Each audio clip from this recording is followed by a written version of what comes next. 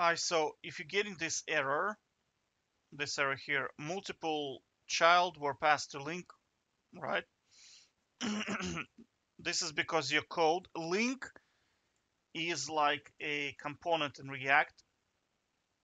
You need to only return one item, okay?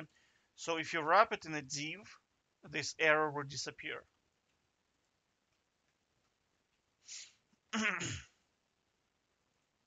Do you see?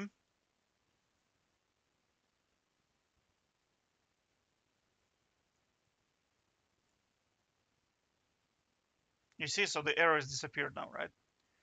This is because we're now inside the link, we're returning single element, right? Because if you remove the div, right, you're now returning three elements.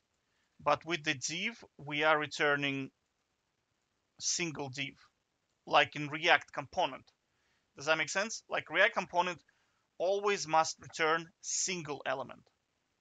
It's the same with link in next. Okay.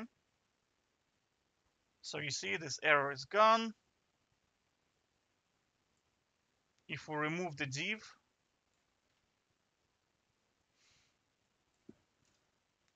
the error is back. Let me see error, error, error, error. Okay, take care.